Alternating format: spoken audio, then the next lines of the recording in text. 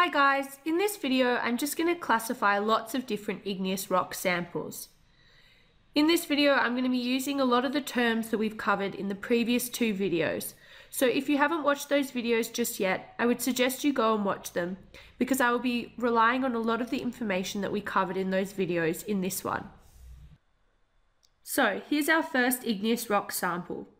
Firstly, I would say that it is rather dark in colour and therefore contains minimal quartz within it. Because quartz is silica, I would say that the rock is a mafic rock, possibly even ultramafic. I would then say that the rock is holocrystalline, however the crystals are very small and therefore cannot really be seen with the naked eye. Therefore, I would probably say that it's an aphanitic rock.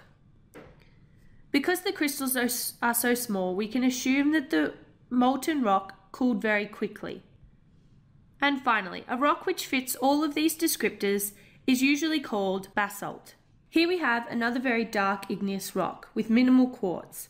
I would say that it is mafic to ultramafic, probably more ultramafic. It is a crystalline rock and I would say that it is holocrystalline and has a phaneritic texture. It is formed from the slow cooling of a mafic magma. This sample is similar to the sample just before, as it is formed from a mafic magma. However, this one is intrusive, while the other was extrusive. This rock we would call gabbro.